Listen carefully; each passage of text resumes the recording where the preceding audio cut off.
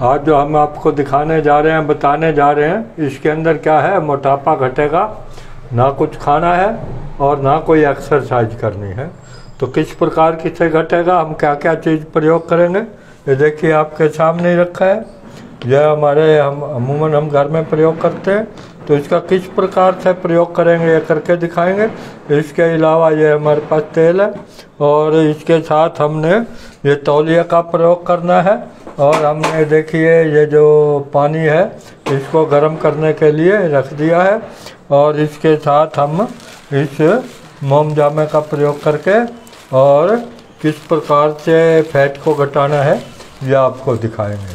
आपने ना कुछ खाना है, ना एक्सरसाइज करनी है, लेकिन आपकी फैट बहुत जल्दी कम हो जाएगी। आपका पेट अगर बड़ा हुआ कम हो जाएगा, उसके अलावा अगर और कहीं भी ऐसी शिकायत है मोटापे की तो कम हो सकती है। किस प्रकार से कम होगी तो हम आपको आज दिखाएँगे। बने रहिए हमारे साथ, ताकि आपको इस घरेलू नुक्ते का पता चल सके, और बगैर साइड इफ़ेक्ट के आप अपना वज़न भी घटा सकें और मोटापा भी घटा सकें। तो किस प्रकार घटाएँगे आप? तो क्या करना क्या है? हमने पानी गर्म करने के लिए रख दिया है। अदरक हमने काट लेनी है। अदरक को काट के हमने क्या किस प्रकार से प्रयोग करना है? देखिए आप के सामने है और इसको ना तो खाना है हमने और ना ही हमने इसके साथ किसी प्रकार की एक्सरसाइज करनी है। ये क्या करेगा कि ये ए, किस प्रकार से हमारे ये मोटापे को घटाएगा, ये भी आपको बताएँगे। आपको पता है कि अदरक जो है जहरीले पदार्थों को टॉक्सिन को शरीर में से बाहर खींच लेती है, निकाल लेती है। किस प्रकार से निकालेगी? देखिए, हमने ये मिक्सी में डाल लिया है। मिक्सी में डाल के हमने ये अपना इसकी पेस्ट बना लेंगे। पेस्ट बना के हम इसका किस प्रकार से प्रयोग करेंगे, ये आपको दिखाएँगे और ये देखिए, हमने इस पेस्ट को अपने इसके अंदर निकाल लिया है। इसके अंदर प्लेट में निकाल लिया है।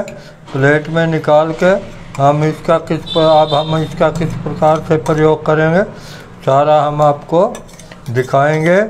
आप ने क्या करना है? इसका भी अब हमारा ये पानी गर्म हो चुका है। इसका हमने क्या करना है? ये देखिए, ज़्यादा गर्म नहीं होना चाहिए, ताकि जले नहीं। पानी का हमने, कि ये देखिए, हमने पानी एक टब में डाल लिया। ये टब में पानी डालने के बाद जो है, हमने एक तौलिया जो हमारे पास है, तौलिया लिया है। तौलिए को हमने इस गर्म पानी में भिगो देना है। इस गर्म पानी में भिगो के हमने इसको जो है अपना निचोड़ देना है अच्छी तरह से, ताकि पानी इसमें से निकल जाए। लेकिन तौलिया गर्म रहना चाहिए। लेकिन इतना गर्म भी ना हो जो जला दे। ठीक ठीक हो। और इसको हमने क्या करना है? इस जहाँ पे हमारी मतलब के मोटापा है, वहाँ पर हमने इस तौलिए को लगा देना है। इस तौलिए को लगाने के बाद हमने उससे इसको ढक के रखना है पाँच मिनट के लिए। इस तौलिए के लगाने का मकसद क्या है वैद जी ये इस तौलिए को लगाने से क्या होगा कि हमारे जो रोम चित्र हैं उनमें से ये उनको साफ़ कर देगा जो पसीना वसीना लगा होगा और जो भी होगा रोम छिद्र खुल जाएँगे इससे। गर्म पानी से रोम छिद्र खुल जाते हैं। उसको खुलने के बाद क्या होगा ये हम अभी आपको बताएँगे ये कितनी देर लगा क्या फ़ायदा ये तोलिया जब तक ये ठंडा ना हो जाए तब तक लगा के रखना है। ये ठंडा हो जाएगा तो इसके बाद हमने क्या करना है? यह हमारे पास पेस्ट तैयार है। यह अदरक की पेस्ट तैयार है। इसके अंदर हमने ये तेल दो चम्मच डाल लेना है। ये कौन सा तेल आप इसके अंदर डाल रहे हो? ये तेल क्लोव ऑयल है मतलब जैतून का तेल है। इसे जैतून के तेल के और बहुत बहुत से फ़ायदे हैं। ऑलिव ऑयल है या जैतून का तेल बोल सकते हैं इसको। तो इसका क्या फ़ायदा है कि जैतून का तेल आपको पता है वैसे भी शरीर की सफ़ाई करता है टॉक्सिन को साफ़ करता है। और अभी हमारा ये क्या काम करेगा ये पेस्ट इस पेस्ट से हम क्या करेंगे?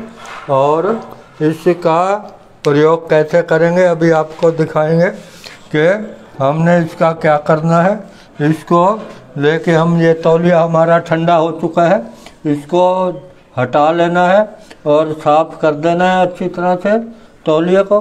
अभी हमने इसका क्या करना है, इसके ऊपर ये पेस्ट पेस्ट हमने ये जहाँ पे हमें मोटापा दिखाई देता है वहाँ पे सब और लगा देनी है और इस पेस्ट को अच्छी तरह से लगा दिया हमने। लगाने के बाद फिर हमने क्या करना है? ये देखिए इस पेस्ट को हमने अच्छी तरह ही लगा लेना है और अच्छी तरह लगाने के बाद हमने अगर रात को लगा लें तो बहुत अच्छा है। पाँच सात घंटे से बारह घंटे तक अगर लगी रहेगी तो ज़्यादा फ़ायदा होगा। तो अभी आप हमने इसके ऊपर क्या करना है कि हमने ये उस एरिया में लगाना है जहाँ पे मोटापा हो आपको।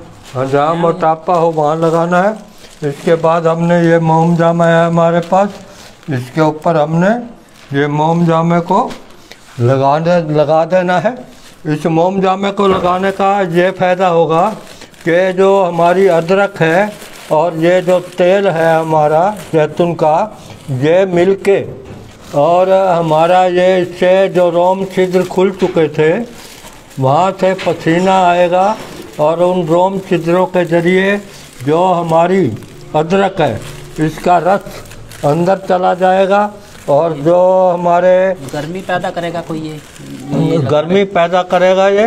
और जो हमारी फालतू चर्बी है उसको पिघला देगा। और वो अंदर ही अंदर बिल्कुल साफ़ हो जाएगी बगैर किसी प्रकार के साइड इफ़ेक्ट हुए। और इसको हमने ये टेप से चिपका लेना है ताकि ये जल्दी उखड़े नहीं। तो टेप को जो हम चिपका देंगे ताकि ये रात भर लगी रहे। अब टेप के साथ ये चार से पाँच घंटे लगानी है वैद जी ज़्यादा देर हाँ, चार से पाँच घंटे ये ज़रूर लगी रहनी चाहिए। चार से पाँच घंटे लगा के इसको उतार दीजिए। चार पाँच घंटे में अपना पूरा काम कर जाती है और इसको कुछ दिन लगाने से आप देखेंगे कि आपका पेट बिल्कुल ही प्लेन में पतला हो जाएगा। इसके अलावा अगर कहीं भी शरीर पे चर्बी है तो इसका प्रयोग कर सकते हैं, क्योंकि रोम छिद्र के ज़रिए अदरक का रस व जैतून का तेल मिलके जो अंदर जाएगा, जो चर्बी को बिल्कुल पिघला देता है और जहरीले पदार्थों को शरीर से बाहर खींच लेता है और क्या वैद जी अलग अलग प्रकृति के जो बंदे होते हैं अलग अलग प्रकृति के आदमियों फ़ायदा सबको होगा। प्रकृति के अनुसार किसी को जल्दी किसी को थोड़ा देर में फ़ायदा होगा। आप प्रयोग करके देखेंगे खुद अनुभव करेंगे और आपको इससे ज़रूर फ़ायदा होगा। इसके अलावा अगर आपको किसी प्रकार की गर्मी की शिकायत है नहीं है। गर्मी की शिकायत किसी प्रकार ना हो तो आप अदरक का खाने में भी प्रयोग कर सकते हैं। वो भी बेनिफिट देगी फ़ायदा देगी। मोटापे में क्या क्या परहेज करना चाहिए वैजी क्या मोटापे में बाई वाली चीज़ें कम खाएँ। बाई की जितनी चीज़ें हैं जो बाई को बढ़ाती हैं, हमारे मेद को बढ़ाती हैं, हमारे जो भारी चीज़ें हैं, उनको मत प्रयोग कीजिए। जो कि हमारे मांस को बढ़ाएँ, हमारी मज़ा को बढ़ाएँ, ऐसी चीज़ें मत प्रयोग कीजिए। जैसे दाल है बाय करती है कोई या किसी प्रकार का कुछ और जो भी बाय करता हो, उसको मत खाइए। आप अपने अनुसार ही अपना परहेज देख सकते हैं और हमारी तरफ़ से करनाल प्लस की तरफ़ से हम आशा करते हैं कि आप बिल्कुल ठीक हो जाएँगे। वह करनाल प्लस को सब्सक्राइब लाइक शेयर करेंगे ताकि इसका फ़ायदा और लोग भी उठा सकें। धन्यवाद।